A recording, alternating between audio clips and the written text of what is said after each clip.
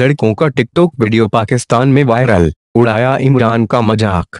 पाकिस्तान में एक TikTok video के वायरल होने की खबर सामने आई है, जिसमें कुछ पाकिस्तानी लड़के पाक प्रधानमंत्री इमरान खान का मज़ाक उड़ा रहे हैं।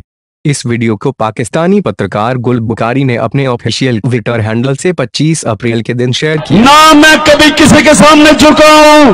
पाकिस्तानियों, कभी आपको किसी के सामने झुकने नहीं दूँगा।